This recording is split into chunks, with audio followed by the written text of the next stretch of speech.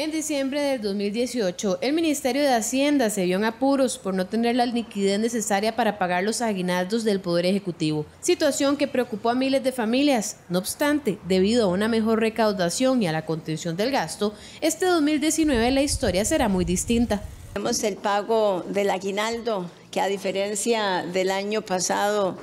eh, que tuvimos dificultades para honrarlo de manera oportuna, eh, lo estaremos haciendo.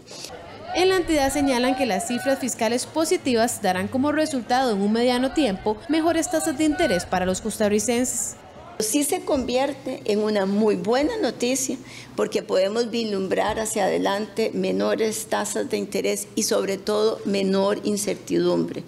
la incertidumbre que teníamos hace un año, que incluso teníamos hace antes de julio, que si Hacienda iba a estar listo, no iba a estar listo, que si iba a entrar o no eh, a regir, ya eso cambió. Y lo que tenemos es un ministerio con un equipo totalmente decidido a que esa reforma fiscal no solo se implementó, sino vamos a mantenernos vigilantes que se siga cumpliendo.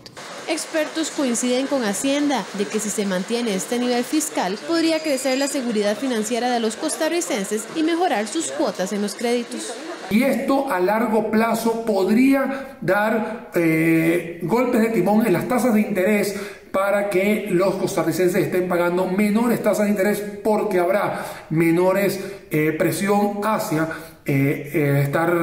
endeudados o hacia financiamiento interno o externo. Eso se traduce que en algún plazo, esperemos que en un corto o mediano plazo, estas tasas de interés se puedan ir ajustando en el sector financiero y así todos los costarricenses poder tener un financiamiento mucho más barato al que ahora tenemos con estas tasas de interés que están muy elevadas